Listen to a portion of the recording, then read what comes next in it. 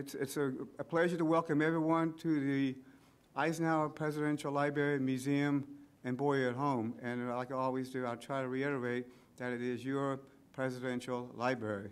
And we're pleased that we have so many wonderful people living in the area community that provide support for the many programs that we have here at the uh, library.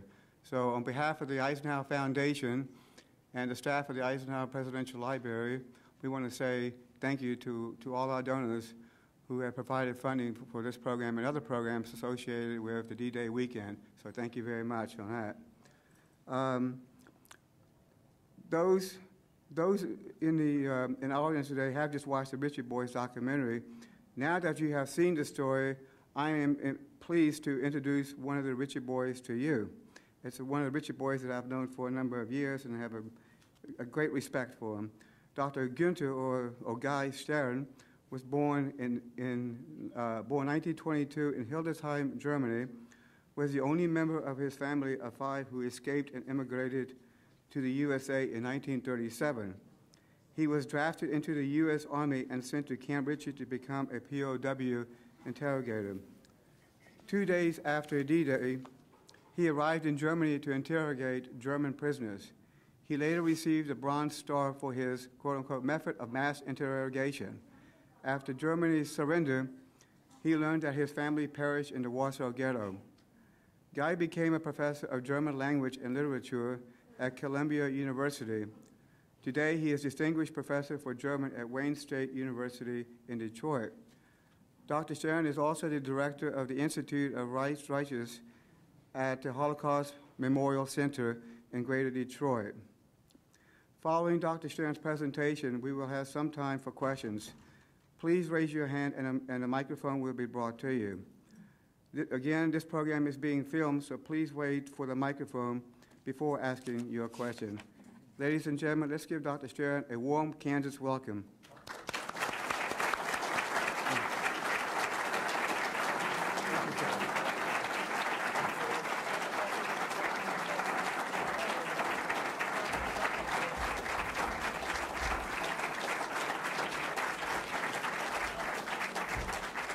I need to, I need to ask one question or make one statement. Please turn off your cell phone. Thank you.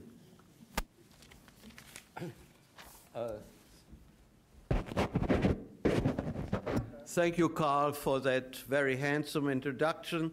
Uh, and what you indeed see here is what's left of uh, former Master Sergeant Guy Stern, whom you have already encountered in the movie with some hair still on him when he was interrogating. uh, when the uh, film The Ritchie Boys was first shown in the United States, a close relative of mine made the observation that from now on I would be tagged one of the Ritchie Boys as my exclusive label. Well, I said, uh, I don't mind, but what about my 50 years of teaching, researching, and writing? Forget it, she said. If posterity should by chance remember you, it'll be as a Ritchie boy.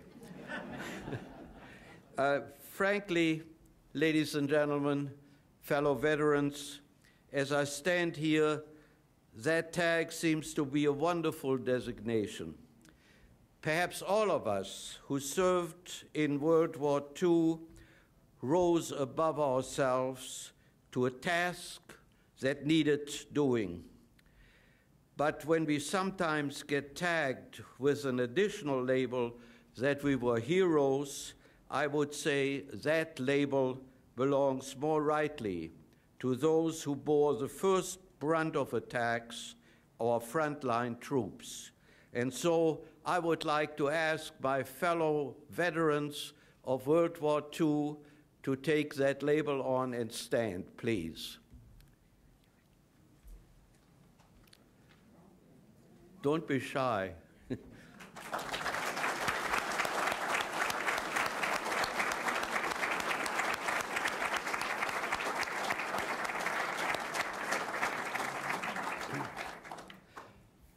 I feel proud can you all hear me way in the back? Sit down, Guy. Have a seat. Okay. frankly, uh, uh, I feel proud and honored to be asked to be a speaker at this occasion and this location. I'm also grateful to Camp Ritchie because this camp amply prepared us for assignment abroad. There was no aspect of our work for which the teachers at Camp Ritchie had not trained us.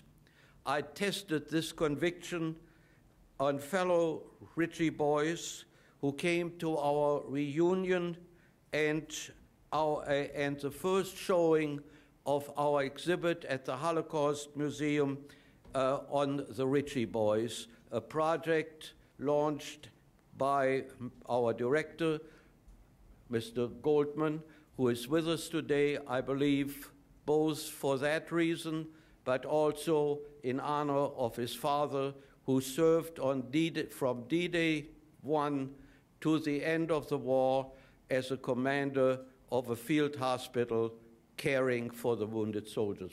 Take a bow.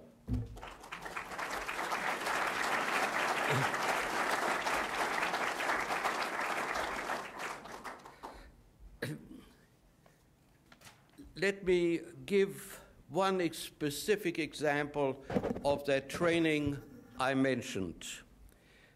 Uh, it, the main assignment for many of us, the film made that clear, was the interrogation of prisoners of war. In the mock interrogations, which we had to practice, we learned essentially five methods of extracting information. Incidentally, our guinea pigs were, for, were captured uh, men of the Afrika Korps who were shipped to Camp Ritchie and told to either withhold information if they uh, if we acted stupidly vis-a-vis them or to give out the story with which they had been prompted if we ask the right questions. Uh, the, uh, so we were taught right through those nine weeks how to use the best method of interrogation. There were five essential approaches. One of them was to display superior, superior knowledge. That means we made it appear the answers we expected we already knew, and we tossed all sorts of information that seemed rather discreet and unknown to anybody else beyond their units at them. And so they thought, well, what the heck? Why, why make life tough for myself? They already know. That was method one. Method two was playing buddy buddy, making them forget that actually we were enemies. So, uh, one, uh, so what fitted me best I was a fanatical follower of, of the soccer leagues in Germany. And so, uh, an, an, important interrogation that came to me, I had to find out something about the industrial complex in the city of Düsseldorf. So, I didn't start out that way at all. I said to him, uh, Hey, I'm glad I got somebody from, your, from Düsseldorf because I'm puzzled at the at half in half season, you fellows at Fortuna Düsseldorf were at the head of the league, and now you're near the cellar. What on earth happened? Oh, he said, yeah, you know Janes, our national uh, our national defense back. He was drafted, and then he gave me a whole litany. It's not whiskey. Uh, uh, so uh, he gave me a whole litany of what happened to his team, and then slowly I led to the question that was real, I was really charged to ask.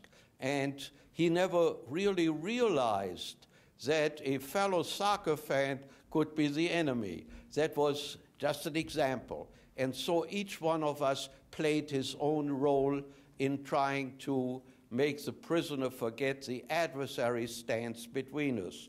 The third one was to, was to be very kind. Uh, I never smoked in my life, Uh, I took out a pack of cigarettes at one time when I knew the prisoners had been, had been short on supplies for a long time, or a can of, yeah, I'll mention it, C rations, veterans. Uh, not all that tasty, but when you're hungry. So uh, I pulled out one of those, and uh, uh then he would say, oh, oh, could, could I have a cigarette, please? Oh, I said, sure, you can have the whole pack, but then, you know, we got to cooperate, and uh, that's fine. There was a third method.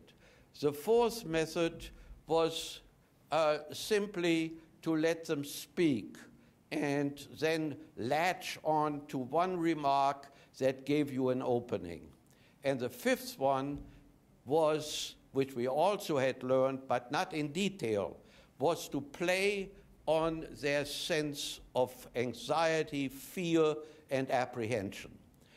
For example, uh, one of the toughest interrogations we did during throughout the war was following the uh, questionnaire by our Air Force. What they wanted to know, especially when aerial photographies had not been very revealing, what they wanted is to know the results of their bombing attack, whether a second one was necessary. For example, uh, let's say on, on the ball bearing factory in Schweinfurt, Germany. And so I, he uh, would, the Air Force wanted to know, we hear that particular factory, very important to the German war effort, has been relocated. But where is it? What are the landmarks? What are, uh, are the railroad, the uh, uh, ancillary railroad tracks still leading to the main line? And if you ask a question like that, what are the landmarks for that factory? Even the dumbest PW couldn't be fooled into anything. He knew we were going to want to bomb. You have finished the sentence. Uh, so uh, here then, uh, uh we played on fear. We had learned very early, since D-Day, that one of the methods as one of the greatest fears of the Germans was captivity in Russian hands. So we played on that.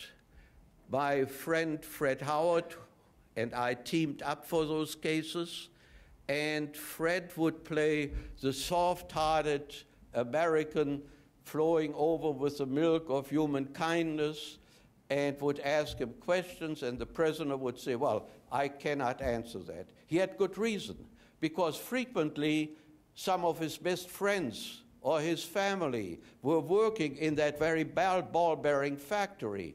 So he refused.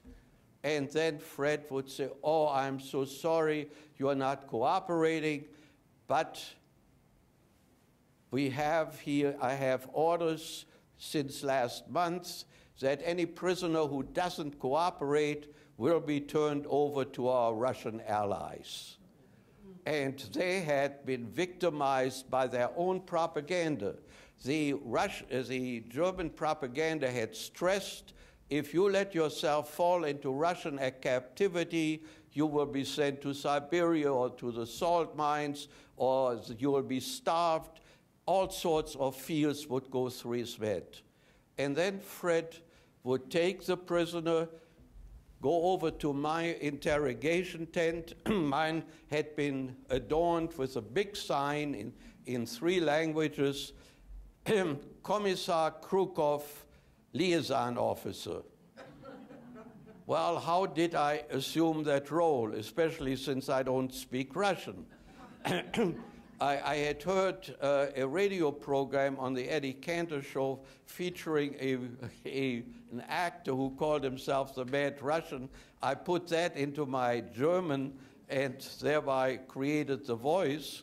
And secondly, I had taken, exchanged uniform parts from liberated Russian prisoners and, and taken away from German prisoners their little trophies whom they had taken from Russian PWs which were medals and uh, distinctions and stuff, put all that on myself and became my alternate uh, personality, Commissar Krukov. and so uh, when Fred brought in that prisoner, I first had a uh, uh, sort of seizure of hysteria, saying, Oh my God, what a specimen you're bringing me here. He won't even survive the transport. I, have never figured out how we would get him from the West Front to the East Front, but neither had he. So, so uh, then I had a sign in my tent that said, uh, to my loyal friend and fellow, uh, fellow struggler, uh, Commissar Krukov, and it was signed by Comrade Stalin. uh, of course, Comrade Stalin didn't know about that. Uh, it been, had been signed by one of our intelligence personnel who knew Russian. But it worked. And so many times that was the only way we could satisfy the demands of the Air Force for accurate information, and uh, we got several unit citations for that information which we brought to their doorsteps. Uh, so uh, the, uh, we added one more method, and that was not taught at Camp Ritchie, and that was the recruitment of uh, prisoners, mostly deserters, whom we could check through secret contacts that they were absolutely anti-fascist and that we that they were interested in our cause. And they became uh, our wonderful uh, revelatory uh, partners in, in, in interrogating prisoners and getting information. So uh, I'll give you one example which is particularly striking towards the end of the war, how inventive these trustees, as we call them, uh, could become. One of, one of them, his name was Korn, uh, he was outraged at the Nazis. They had ruined his family and he was cleared. And so uh, we had an inquiry from the judge advocate office. Uh, uh, one of our pilots had bailed out, and a lieutenant uh, of an infantry, a German infantry division, ordered him shot the moment he hit the ground. That's a war crime. So we were told if he gets into captivity because he had been identified by a fellow uh, soldier of his unit, uh, get, get the evidence on him. Well, that wasn't easy. We got, we found him among our list roster of prisoners, and I uh, interrogated him, and he shut up. He said, I did nothing of the kind, that's not true, and so forth. We couldn't get any further than the evidence we already had. So Korn said, Leave me alone with him for a moment. We were then uh, uh, billeted into a ceramic factory uh, on, uh, on the uh, right side of the Rhine. And so uh, we had put him in, into sort of a confinement in that within the factory. And so Korn went into it, and in the morning he came out with all the information we needed. And we said, How on earth have you done that? He said, I used a little stratagem.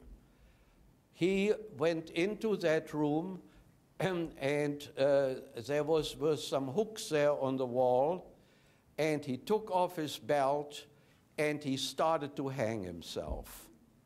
So the lieutenant said, What on earth are you doing? He said, Well, I tell you, I, I have some offenses that they hold against me, and they are not going to be gentle, and so I want to uh, end it all right now. And the lieutenant said, Don't do that. Just sweat it out. That's what I'm doing. You know, they think I shot that pilot. Well, and then uh, and Korn wasn't moved. He started again to hang himself. Finally, the lieutenant blurted out his own offense, and it. We sent it to the judge advocate, and as best I know, the lieutenant was executed for war crimes. So these were helpful people. That was another method we developed. We used a combination of all those to uh, extract information also from one of the first revealed war criminals, a man by the name of Dr. Schubbe, who was involved in the so called euthanasia program in uh, Russia and Poland and uh, had killed at that time early in the extermination program via morphine injections had killed over thousands of prisoners uh, or, or, rather of uh, confined people himself so uh, we were able to by various by various devices to get him as well to confess so uh, this however came late in the war. That was not our primary function. Yet this report is the only one we ever uh, issued that was shared with the public at large. And if you want to look in your computer on details of this, our first revelation of a, of a war crimes, uh, of a massive cri- war crimes murderer, uh, it's the first May issue uh, of Time magazine of 1945.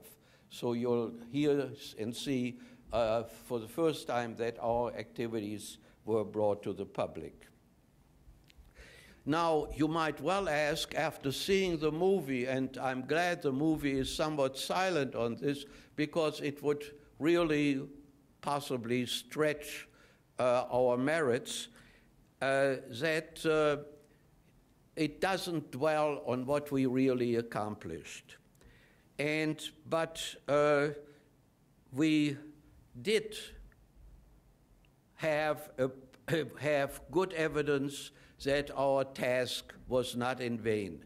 We had a second reunion uh, in Washington, D.C., and our main speaker was a historian in military intelligence uh, in a member of military intelligence, a high ranking officer, and he had investigated our reports and said that 67% of viable information needed for the war effort came from the Ritchie boys. And that was reward enough.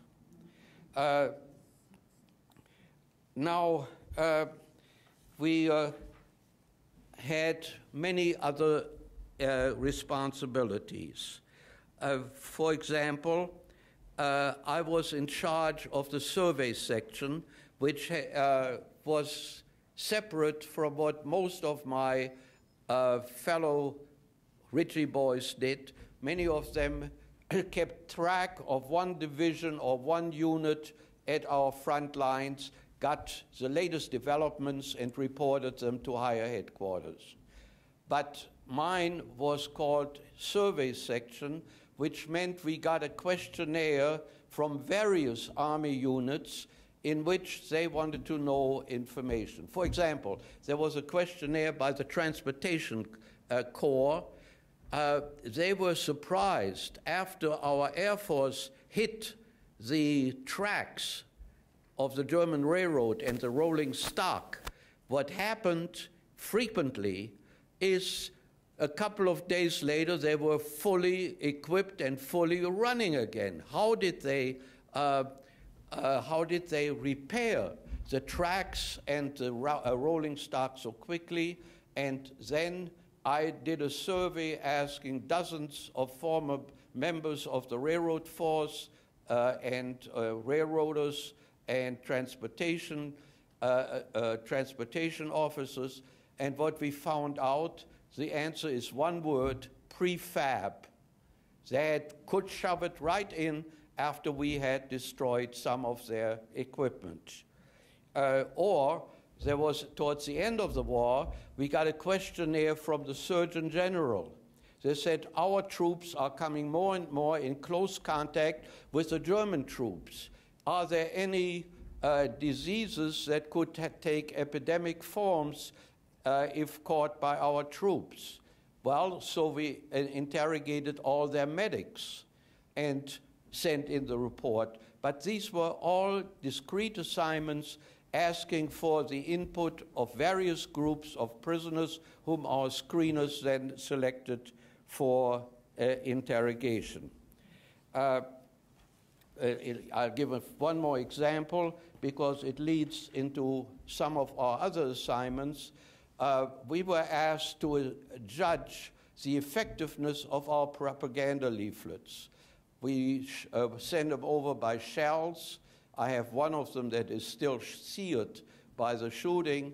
Uh, some were tossed out of airplanes trying to uh, lessen the resistance of German forces or to get soldiers to surrender. Uh, it was, uh, some were effective, some were far too, they were over the head of the Germans because some of our devisers of propaganda leaflets uh, as came out of high rank of academics. Uh, you know, well. uh, uh, so, uh, but uh, we, this was one of our other responsibilities, is to correct or draft propaganda leaflets. Yet another one was to read German documents, and if they contained uh, captured documents, if they contained information that was of vital interest, then we would forward it. One of the, uh, my uh, most interesting one was when a German deserter came with excellent, detailed information in the form of a diary uh, written in shorthand. Fortunately, uh, my parents had made me get up while I was going to high school and go to one hour early to take a class in German shorthand, and that's the first time it ever paid off. uh, the last time, too. uh, then, uh, the most uh, interesting and innovative personal uh, introduction of interrogation was uh, mass interrogation, which Ritchie had strictly uh, asked us not to use because prisoners tend to reinforce their own resistance towards talking. So, uh, but then a questionnaire came uh, which I knew could not be answered by detailed questioning of singular uh, prisoners. That was towards the end of the war, and German, uh, the German army, uh, on orders of Hitler, had drawn the last remnants of manpower into their force. That meant the lame, the halt. One was called the stomach battalion because they were all stomach sick and had to have special diets all of these, the 15 year olds, the 65 year olds, were now drafted. And our G1 sent a memo down to our cage saying, What can we expect of them? We have no information on these newly created uh, divisions like the 62nd People's Assault Division. It was neither the people nor assault, but that uh, propaganda does a lot to uh, get overaged men look representable. But so I knew I couldn't get any information by single interrogations. So I, when the prisoners came in from the, say, the 62nd Division, I would say, fall out. Yes, with emphasis. uh, I said uh, fall out and would say uh, first regiment on the left, 2nd Regiment here, the Signal Battalion over there, and so forth and so on. And these people, scarcely trained, not security minded for a moment, did exactly as told. I had one of our trustees, a very tough first sergeant, help me in if there was anybody who refused, he would take him down a step or two, and we got. And then I said, How many of you were trained with a machine gun? Hands up. And, uh, and this sergeant would take down the numbers, and uh, then I would ask, uh, How many of you uh, have had artillery training? And then the most crucial question of all from G1 because you remember how World War I ended in gas warfare. And that was the G1 wanted to know is the enemy capable of finishing this war again through gas warfare? A great worry on the minds of all the commanding officers. So uh, I asked how many of you have gas masks with you? Because you have to protect your own troops, of course. How many of you have gone through a gas chamber, took that down? And then I sent a statistical report uh, the first day uh, over to headquarters. Next morning, there was a call from, uh, from uh, G, G2 uh, saying Sergeant Stern to report to off, warrant officer Gold tomorrow morning.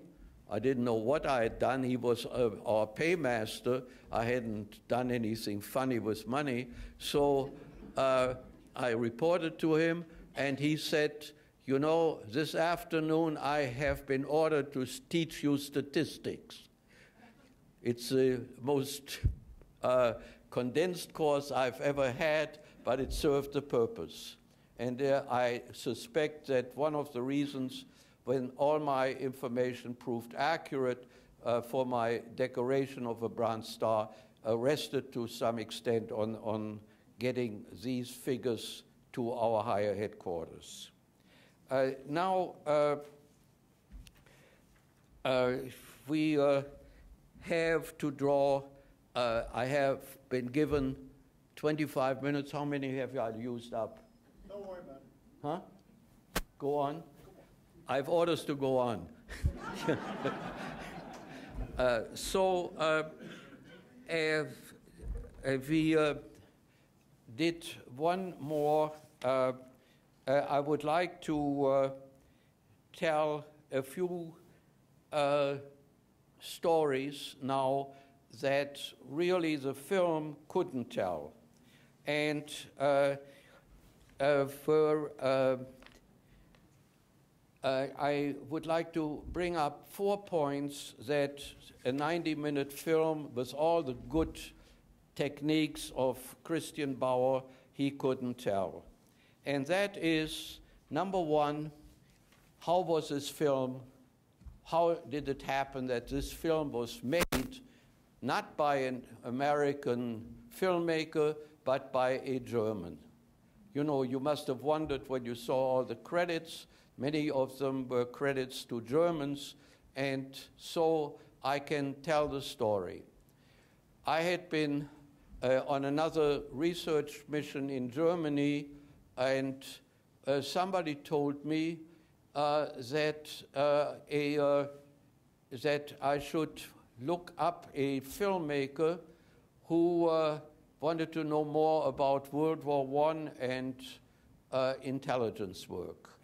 So I, I thought, well, that's interesting. And I found myself in the studio of two German filmmakers, one of them Christian Bauer. And what happened now is a story of uh, a chain of coincidences that I would not tell because it seems so unlikely unless I had people who were with me. I get, uh, I get to his studio, and he says to me, uh, Okay, uh, I am toying with the idea of making a film about the Ritchie boys. I said, How do you know about the Ritchie boys? He said, Well, I have been interested in the, uh, particularly in the Jewish immigrants and their fate in America for, a, for various reasons.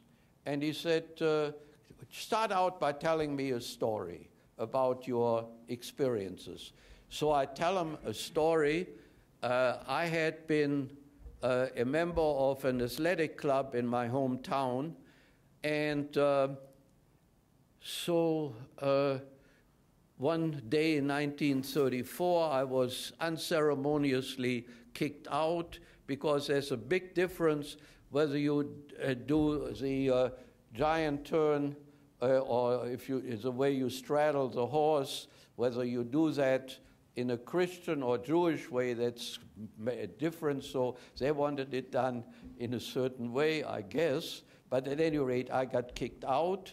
And now I am checking after we, the so called Falaise Argentan Gap, where we almost captured the entire retreating German army after our breakthrough uh, from out of the Normandy beaches.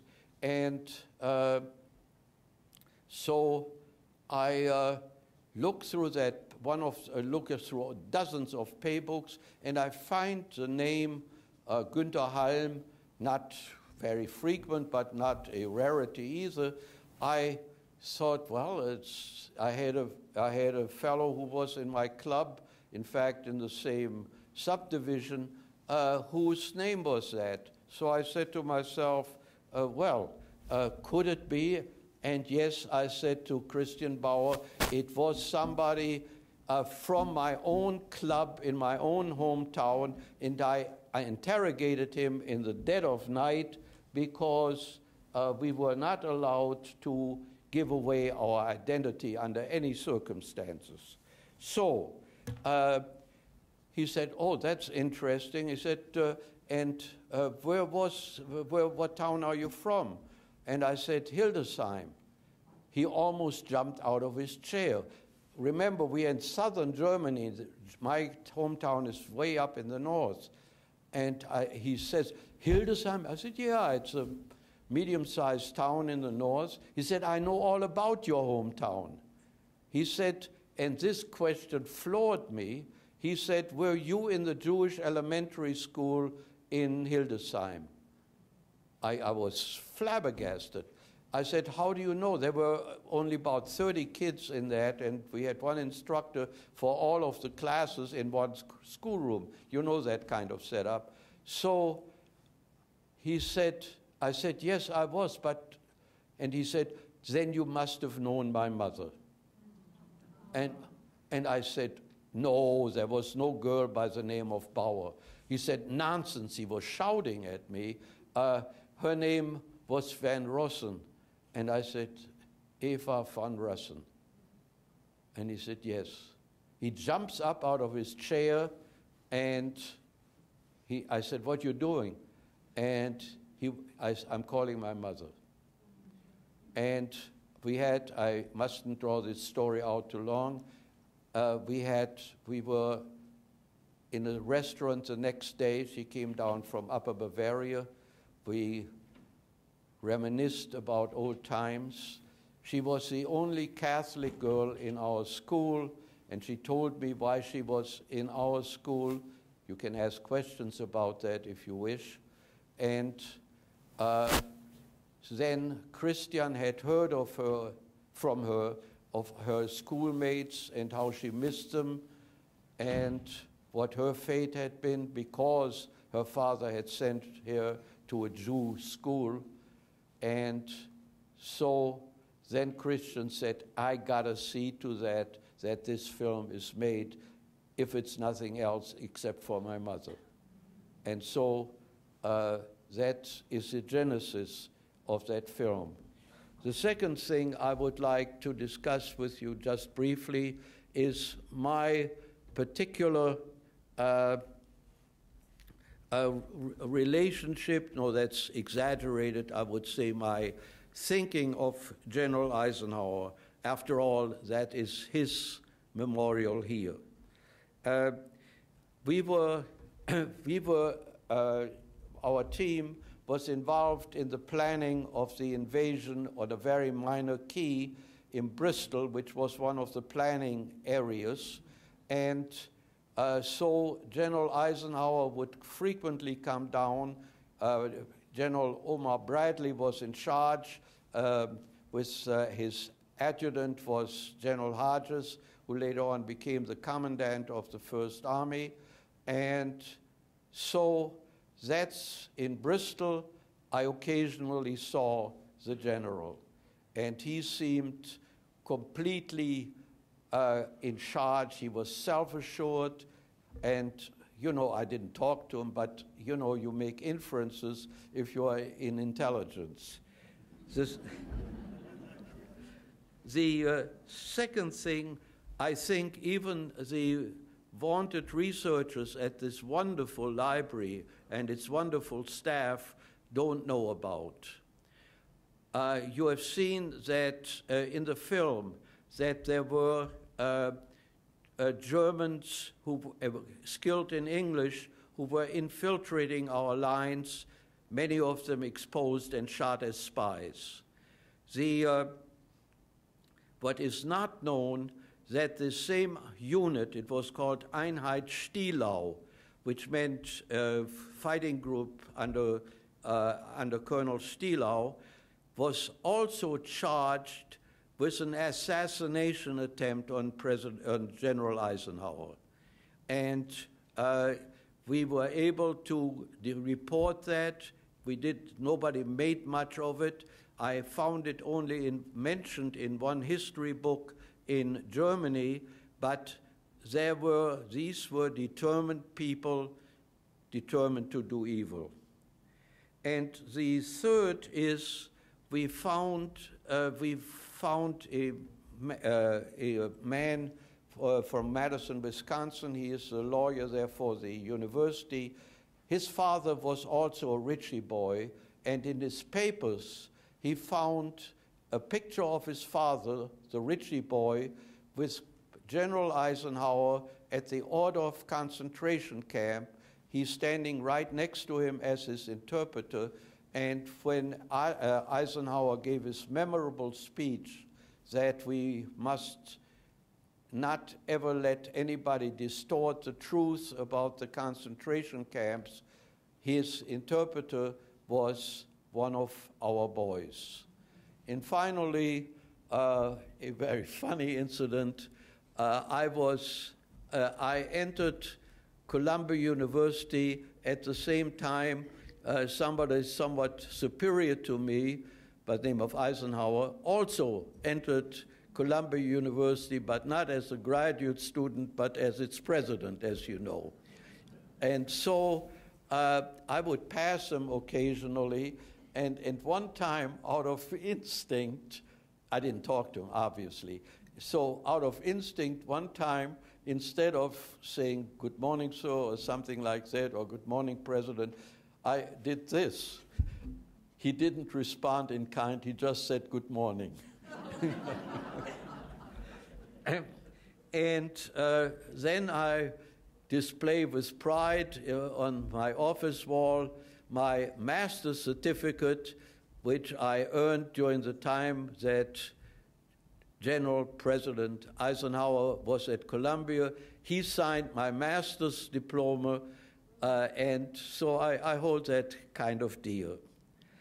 The third thing uh, I ought to mention is that you, from the film and from my remarks, you might have gotten an exaggerated picture of us as absolutely beyond anything bad or doing something wrong. Well, uh, let me tell you two incidents which answer two questions I frequently get. The one question is Were there any Afri- uh, Afro American soldiers at Camp Ritchie? And the answer is yes. The head of our rec that's for you lay people, is recreation hall, has nothing to do with wrecking, so we did that too. But uh, the, uh, at our recreation hall, the sergeant in charge was a very imposing looking uh, Afro American sergeant. And one time I had reason to talk to him together with another Ritchie boy. We were disputing who had winners at the ping pong table. A very, very important argument ensued. And so somebody who was getting impatient to get to play said, Come on, uh, have the sergeant straightened out. We went to him, and he looked at us and he said, You know, you fellows, you are in intelligence, but intelligence isn't in you.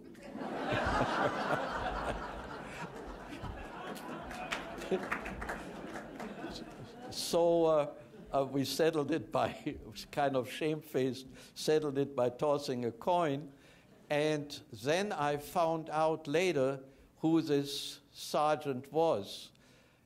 They had sent him to Ritchie because he fit all the requirements language skills, German cultural knowledge, sophisticated man. And it turned out it was uh, William Warfield one of the, arguably, one of the best baritones of his generation. And if you go into a record store, uh, you will always find a copy, at least, of that, uh, of uh, Old Man River uh, in, uh, on, on, uh, in, in the store. He was married for a while to Kathleen Battle, another great in opera. So I had my myself taken down by a uh, very uh, esteemed member of our society. But the second question is were there any women at Camp Ritchie? Yes, we had a company of WACs, and I found out, I found out by accident when I was a uh, feature editor at my, other, my previous undergraduate college that we two were both on the school newspaper and we became good friends with Ritchie memories. Um, now, uh, finally, when I uh, add all of that up, I can only say it was an incredible, wonderful experience for all of us. But I have to end it all with yet putting a little bit of a doubt in my mind. We were not, ladies and gentlemen, and fellow veterans will tell their families, none of us were really perfect. And so I'll tell you a story of one of our rather defaulting members of the Ritchie Boys. Uh, I'll call him Paul because that was his name. and uh, we nicknamed him Shortcut Paul. He took shortcuts in life, you know what I mean, and he took shortcuts on the road. One day in the field, we were asked to uh, uh, bring a uh, to to bring a message to headquarters, secret papers, and uh, we were coming back to our uh, encampment, and uh, Immediately, Paul at the wheel piped up, Listen, I know a shortcut. he took it, and then we heard voices. These were not English voices. so we hear those Germans, and our ranking noncom shouts at Paul, Get us the hell, he would use stronger language, uh, out of here. So he backs up the Jeep, and the Jeep stalls. and uh, our ranking noncom, Kurt, got really uh, angry, and he said, uh, What's wrong? Out of gas. But you got that canister in, in the back. Yes, uh, but I traded with a uh, Norman, Normandy farmer for some Calvados. The, ca- the canister was filled with, cal- with Calvados liqueur, and so Kurt shouted, Put the Calvados in the tank. he did, and miracle of miracles, the Jeep started, and we got back safely. So uh, his, some, some of our adventures were not heroic and they were very human, but we all, all veterans, all of us in that army of World War II pulled on the same string. And it's my feeling today, if I can draw any lesson, that what we need in this country is the same feeling of unity of purpose and patriotism that the civilians and the soldiers displayed at that time. Thank you.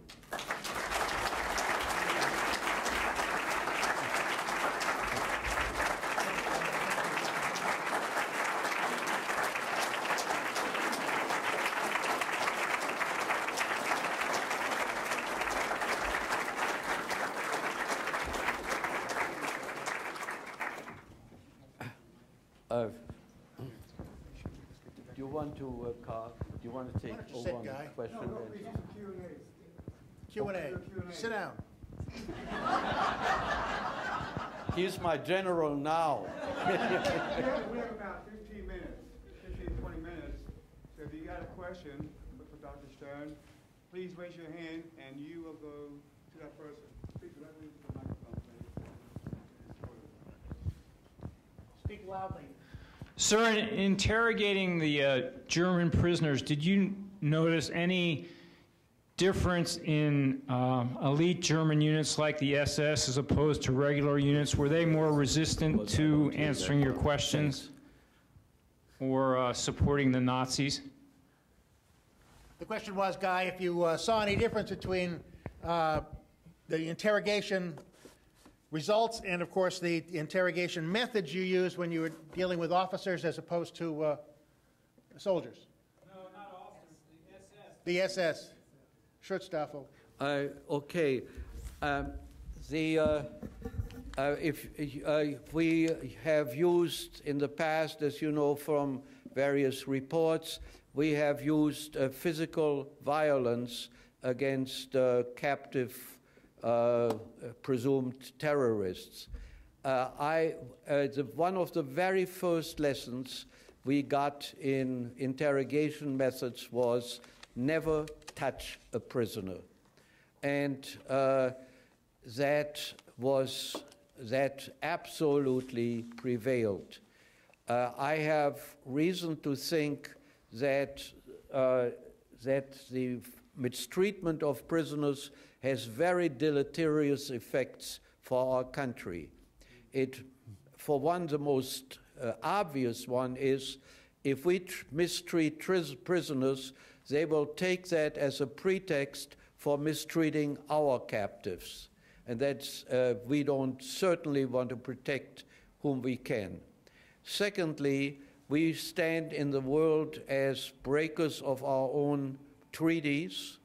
Thirdly, uh, we, uh, uh, the uh, way of, if you mistreat a prisoner, the answers you get are likely to be uh, unreliable. If I face you, sir, I, I don't take that personally.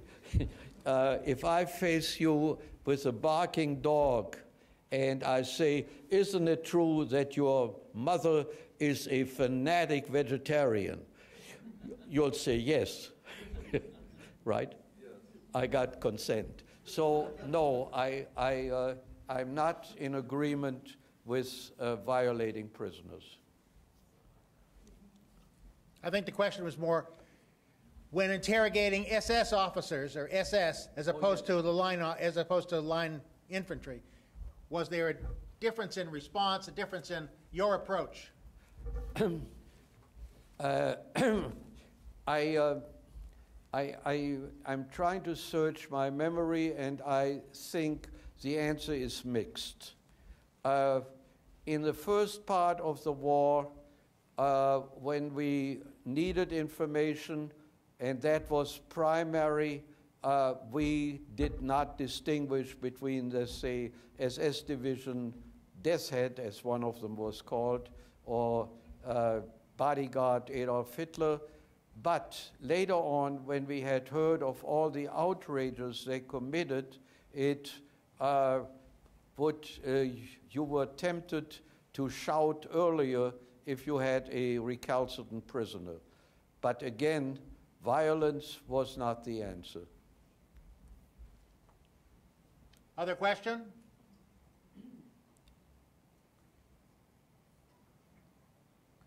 Right, the young lady right there.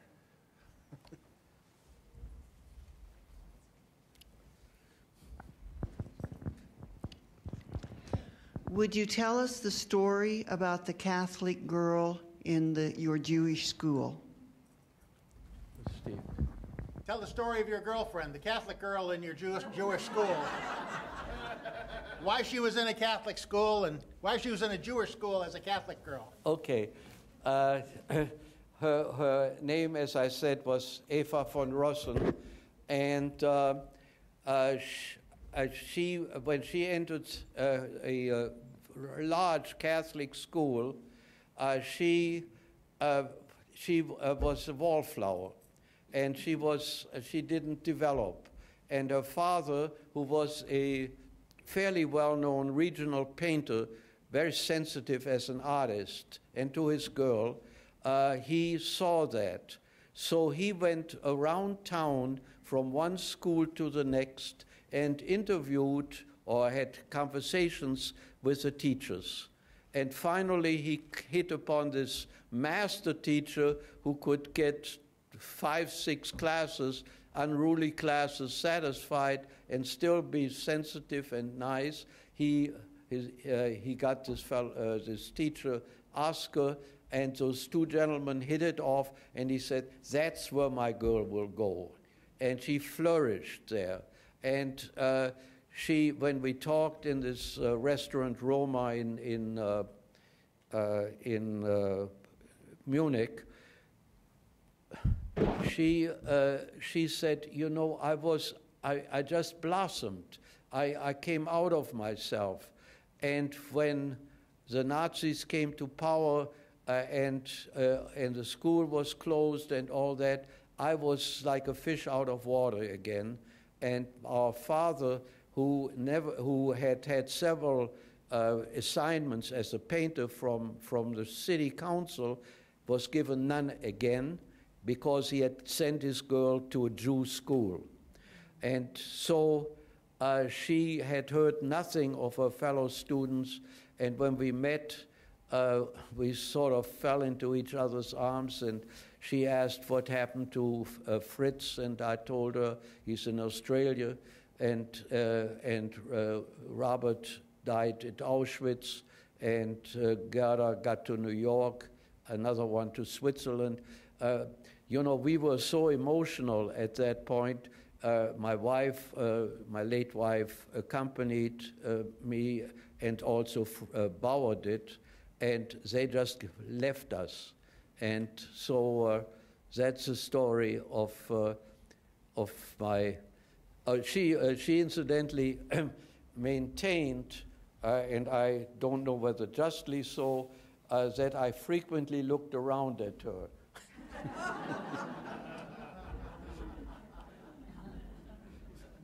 in the back of the room.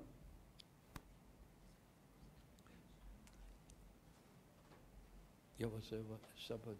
There's another This one up front. gentleman.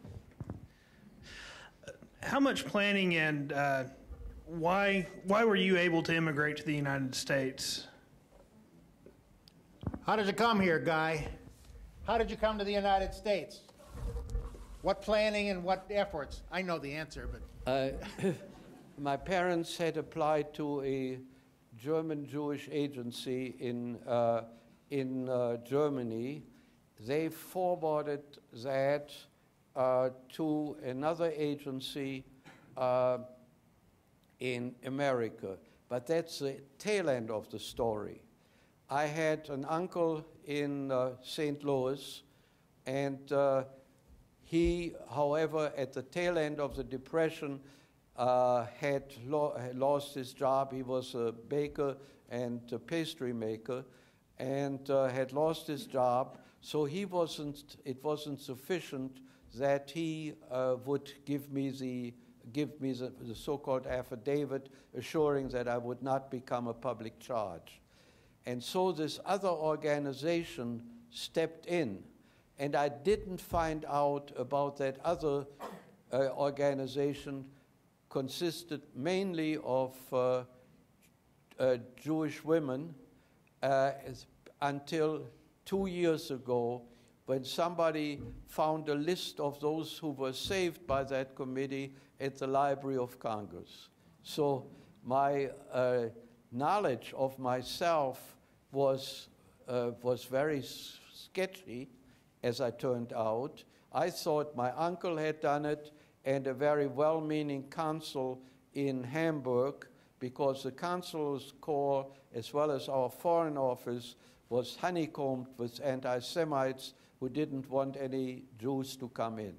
So I thought this combination of somebody who broke the rules of the State Department plus my uncle's goodwill had brought me to the United States. But it was, in addition, a very fine group of Jewish women in the United States. That organization still currently meets, of the, the organization of these children. The organization is called 1,000 Children because approximately 1,000 uh, youngsters came. Guy was among the oldest of them. And uh, these were women, mostly social workers, who said that we've got to be able to get together and somehow we can save children from Germany. In their efforts, uh, plus a little exaggeration of how well off the uncle was, and a little exaggeration of how capable Guy was. They made it here in the United States, and the rest, as they say, is history. But the most interesting part to me is uh, I've only known Guy five years. I've only been at the Holocaust Center five years. But he had no idea that he was one of the 1,000 children. An organization, I've been in the Holocaust Museum business 25 years, and that was the first I had heard of the 1,000 children. So he was saved by a bunch of Jewish housewives, essentially, uh, brought here to the United States, and he's become a, a world renowned professor, became a hero of World War II, one of the Ritchie boys, and one of the finest soldiers and one of the finest men I know.